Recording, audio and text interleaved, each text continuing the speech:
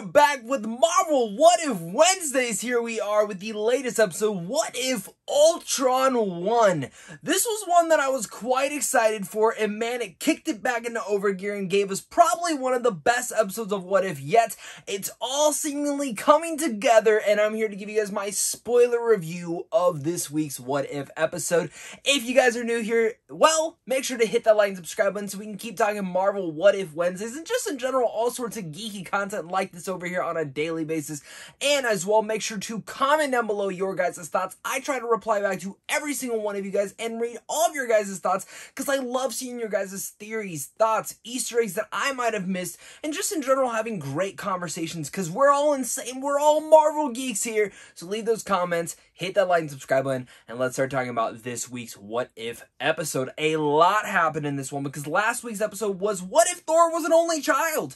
Well, at the very end of that episode, we saw Ultron, this Sigma version of Ultron, come through with the Infinity Stones embedded in him, and it did not seem like it was a good thing. And in this week's episode, it, it establishes that we get an apocalyptic view of the world of what if Ultron had won and it's honestly quite scary. Like, what if Ultron had actually gotten into Vision's body and gotten the soul, the Soul Stone, the Mind Stone inside his head and was able to completely go crazy? I mean, this is something to really put into theory.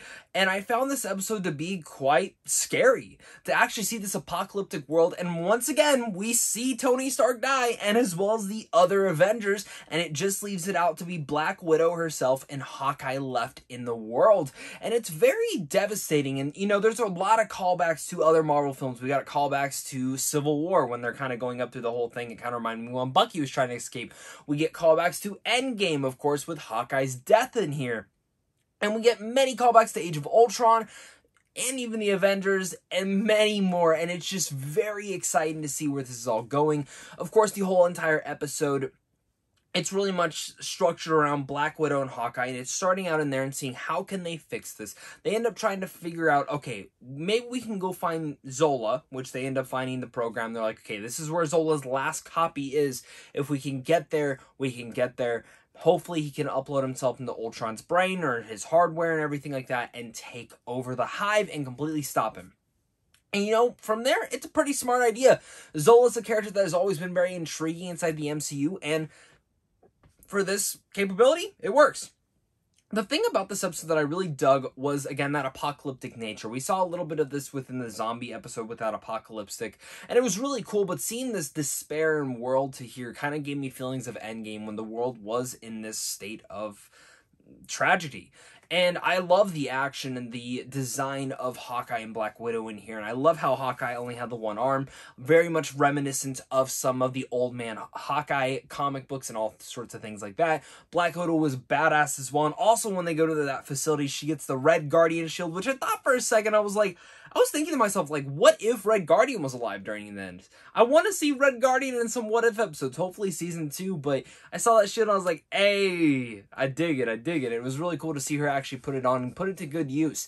And again, once again, the animation in here is stellar. Some of my favorite animation, some of my favorite like scenes in general when it comes down to the smooth, fluid action scenes. And especially like the last two episodes I liked, but I didn't love. And this one I'm actually like in the camp of loving. I actually like got up and actually sat on the edge of my seat and I was like, this this is freaking good. And especially in the way that it ends because while we're seeing what Hawkeye and Black Widow are doing throughout this entire episode, there's one important key part about this, not just Vision Ultron, it's the Watcher. Every episode he's gotten closer and closer and closer and we're waiting for him to interfere and pretty much he's at that point of interfering now. He almost interfered to tell Hawkeye, just touch the boat, just touch the box, just touch the box. You know, they ended up doing all that stuff. But he really much was getting to that state of fear.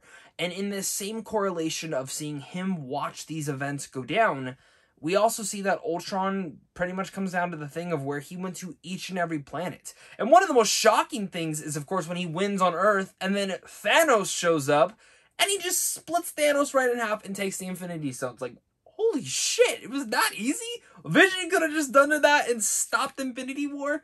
That's baffling and crazy to me. But you know, the fact that he gets those stones and then he goes to planet to planet, you see him destroy Ego, you see him go to Sovereign, destroy them, you see him fight Captain Marvel and completely decimate her, and we thought she was about to kill her. He destroys all the main locations that we have visited in the MCU and many, many more. And that's where he gets that feeling, that secondhand nature, just like um, Doctor Strange had done in episode four or five, where he got that feeling and he could see the Watcher that's where Vision or Ultron was at that very point. And you know, he sees that and he's trying to figure out how he can do it. And again, in that same segment of them trying to get Zola uploaded, the Watcher, I mean, Ultron breaks through to where the Watcher is. And they start going toe to toe which became probably one of my favorite action set pieces, one of my favorite moments, moments of this entire first season of What If. It was intense, it was enthralling, it was very visceral in the way that it was trying to fight off. And seeing the Watcher go toe to toe with this version of Ultron was freaking badass. And it shows how powerful the Watcher is because he's going toe to toe with someone who absolutely pretty much decimated an entire universe itself.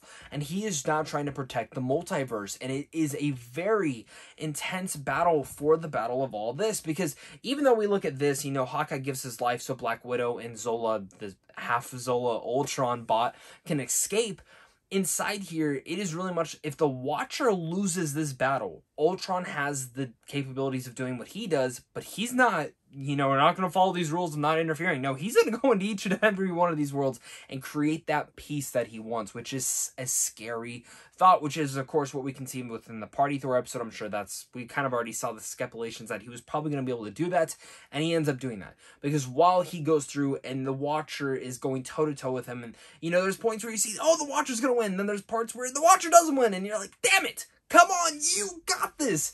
And he ends up losing at the very end, and it's like, fuck, he had he, he had to go escape. He had to go hide and it's an emotional battle in there, and I love, love, love that. I love when he gets the armor, and I love when Ultron's beating the crap out of him. You're like, no, you got this, and he just disappears.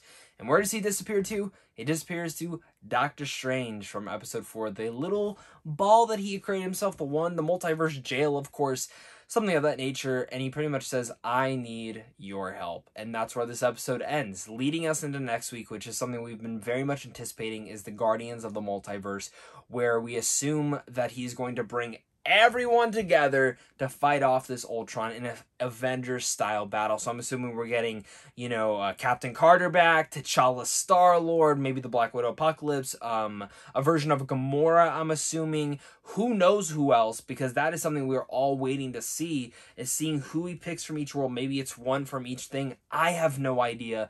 But this is an exciting capability. We've seen a little bit of the teases in the trailers but man, this is going to be very exciting. And for what a fantastic pendulum episode this one was, leading into next week's finale of What If. I have been a pretty big fan of this show. I really overall dig it. Some episodes were, of course, better than others, but I cannot wait to see the finale next week. And I can't wait to hear your guys' thoughts down below in the comment section. So hit that like and subscribe button once again. Comment down below your guys' thoughts. What was your favorite moment of this episode? What are you expecting for next week? Are there any big theories that you might be able to throw out there? And also let me know for season two of What If, what movie or what event do you want to see them do? I really want to see them do something with Shang-Chi or the Eternals, and I'm really hoping that they end up doing that. And of course, maybe even other things with inside the multiverse as things start to express and exaggerate itself, whether it's in No Way Home or Doctor Strange 2 and the Madness in the Multiverse. It is all very exciting stuff, guys, but I'm so happy to be here with you guys. Thank you so much for tuning in once again to a What If Wednesday episode review. Spoilers, of course, and I'll make sure to catch you guys next week. So, of course, until next time, stay classy.